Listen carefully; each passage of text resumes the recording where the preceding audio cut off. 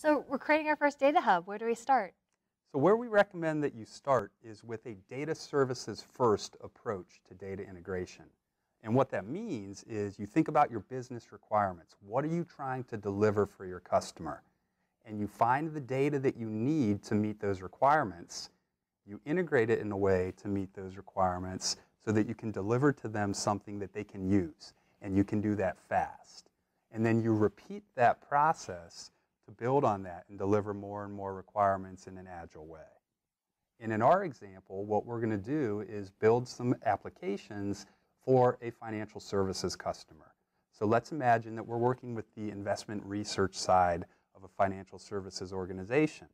And what our customer wants to be able to do is do analysis on companies that are within the Fortune 500 as well as some companies that are outside of the Fortune 500 and be able to look at things like profit margin and number of employees and industry and location to do some analytics on that type of data. Okay. So you mentioned using the Data Hub framework to accelerate the process of building a data hub, but how do we do that? How do we get started?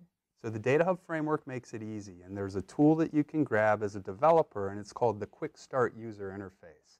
And what I want you all to do is grab that tool, because that's what we're going to be using as we go through some of these hands-on examples. And the link to download that quick start is right here on the site for you to use. All right. Can we get started? Let's do it.